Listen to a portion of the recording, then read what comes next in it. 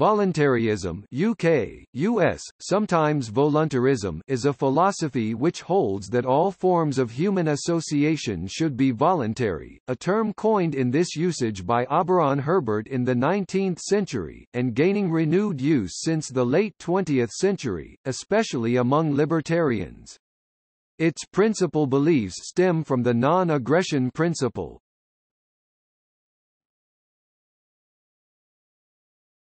Topic: History.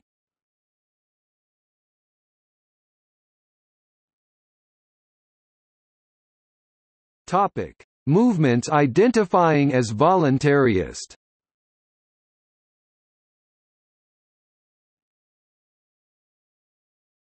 Topic: 17th century.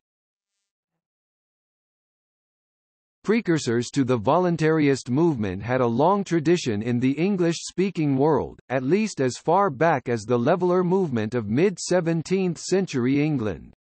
The Leveller spokesman John Lilburne c. 1614–1657 and Richard Overton c.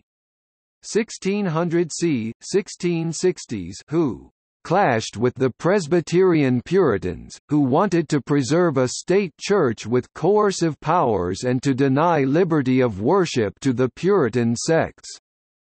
The Levellers were nonconformist in religion and advocated for the separation of church and state. The church to their way of thinking was a voluntary associating of equals, and furnished a theoretical and practical model for the civil state. If it was proper for their church congregations to be based on consent, then it was proper to apply the same principle of consent to its secular counterpart. For example, the Leveller large petition of 1647 contained a proposal that tithes and all other enforced maintenances, may be forever abolished, and nothing in place thereof imposed, but that all ministers may be paid only by those who voluntarily choose them, and contract with them for their labours. The Levellers also held to the idea of self-proprietorship. Topic: 19th century In 1843, Parliament considered legislation which would require part-time compulsory attendance at school of those children working in factories. The effective control over these schools was to be placed in the hands of the established Church of England, and the schools were to be supported largely from funds raised out of local taxation. Nonconformists, mostly Baptists and Congregationalists, became alarmed. They had been under the ban of the law for more than a century. At one time or another they could not be married in their own churches, were compelled to pay church rates against their will, and had to teach their children underground for fear of arrest. They became known as voluntaryists because they consistently rejected all state aid and interference in education, just as they rejected the state in the religious sphere of their lives. Some of the most notable voluntaryists included the young Herbert Spencer (1820–1903), who published his first series of articles, "The Proper Sphere of Government." Beginning in 1842, his supporter Auberon Herbert, who coined the modern usage of voluntaryist, and established its current definition. Edward Baines, Jr., 1800–1890 editor and proprietor of the Leeds Mercury, and Edward Miall 1809–1881, Congregationalist minister, and founder-editor of The Nonconformist 1841, who wrote Views of the Voluntary Principle 1845. The educational voluntaryists wanted free trade in education, just as they supported free trade in corn or cotton. Their concern for liberty can scarcely be exaggerated. They believed that government would employ education for its own ends teaching habits of obedience and indoctrination, and that government-controlled schools would ultimately teach children to rely on the state for all things. Baines, for example, noted that W e cannot violate the principles of liberty in regard to education without furnishing at once a precedent and inducement to violate them in regard to other matters. Baines conceded that the then current system of education both private and charitable had deficiencies, but he argued that freedom should not be abridged on that account. Should freedom of the press be compromised because we have bad newspapers? I maintain that liberty is the chief cause of excellence, but it would cease to be liberty if you proscribed everything inferior. The Congregational Board of Education and the Baptist Voluntary Education Society are usually given pride of place among the voluntaryists. In southern Africa, voluntaryism in religious matters was an important part of the liberal, responsible government movement of the mid-19th century, along with support for multi-racial democracy and an opposition to British imperial control. The movement was driven by powerful local leaders such as Saul Solomon and John Molteno, and when it briefly gained power it disestablished the state-supported churches in 1875, although there was never an explicitly voluntaryist movement in America until the late 20th century. Earlier Americans did agitate for the disestablishment of government-supported churches in several of the original 13 states. These conscientious objectors believed mere birth in a given geographic area did not mean that one consented to membership or automatically wished to support a state church. Their objection to taxation in support of the church was twofold. Taxation not only gave the state some right of control over the church, it also represented a way of coercing the non-member or the unbeliever into supporting the church. In New England, where both Massachusetts and Connecticut started out with state churches, many people believed that they needed to pay a tax for the general support of religion, for the same reasons they paid taxes to maintain the roads and the courts. There were at least two well-known Americans who espoused voluntaryist causes during the mid-19th century, Henry David Thoreau's (1817–1862) first brush with the law in his home state of Massachusetts came in 1838, when he turned 21. The state demanded that he pay the $1 ministerial tax, in support of a clergyman, "...whose preaching my father attended but never I myself." When Thoreau refused to pay the tax, it was probably paid by one of his aunts. In order to avoid the ministerial tax in the future, Thoreau had to sign an affidavit attesting he was not a member of the church. Thoreau's overnight imprisonment for his failure to pay another municipal tax, the poll tax, to the town of Concord was recorded in his essay, Resistance to Civil Government, first published in 1849. It is often referred to as, On the Duty of Civil Disobedience because in it he concluded that government was dependent on the cooperation of its citizens.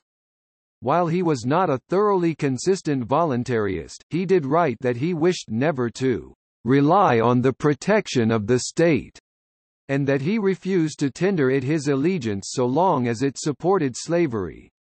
He distinguished himself from those who call ed themselves no government men, I ask for, not at once no government, but at once a better government.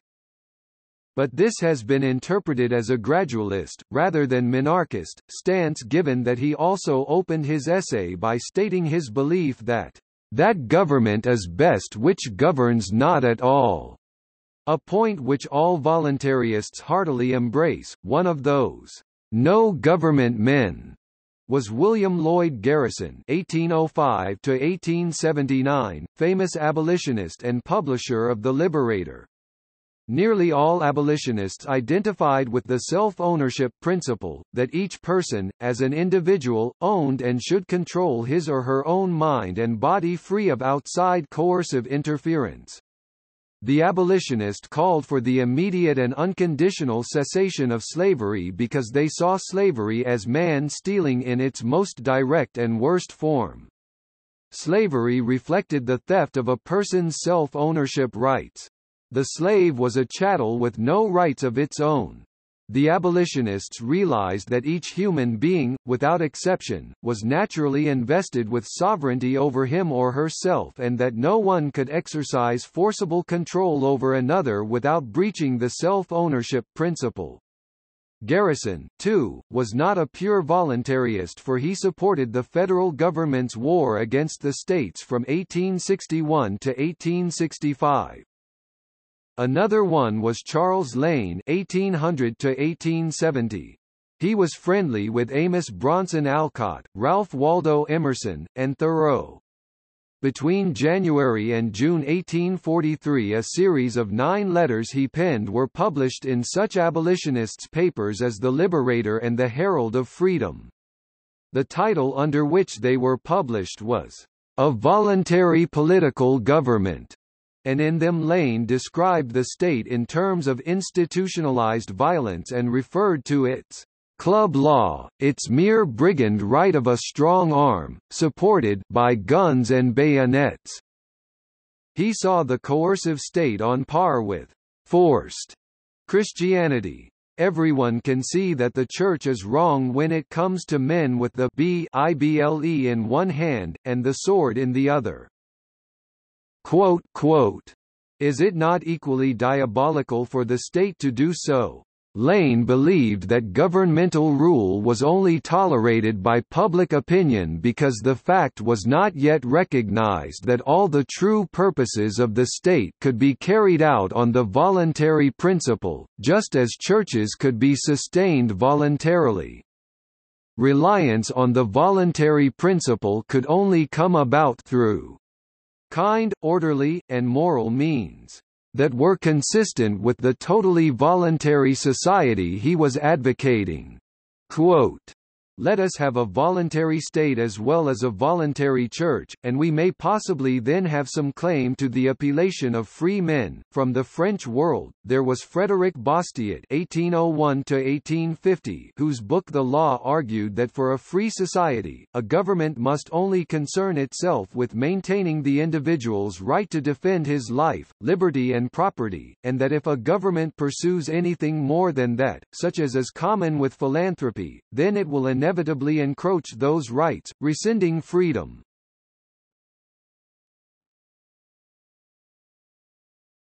Topic: Modern-era voluntaryists Although use of the label, voluntaryist, waned after the death of Auberon Herbert in 1906, its use was renewed in 1982, when George H. Smith, Wendy McElroy, and Carl Watner began publishing the Voluntaryist magazine.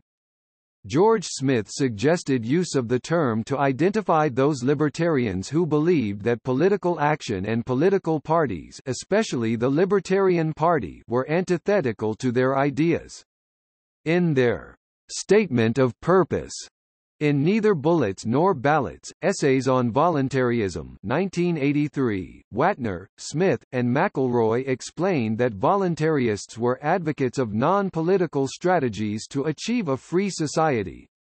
They rejected electoral politics, in theory and practice as incompatible with libertarian goals and argued that political methods invariably strengthen the legitimacy of coercive governments.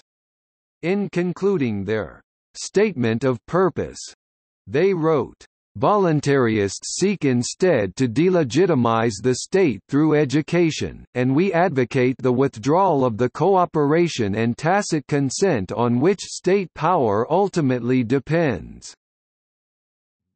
Russian-American novelist and philosopher Ayn Rand (1905–1982) wrote the novel Atlas Shrugged, which describes the formation of a secret voluntary society that emerged from the trials and tribulations of its members.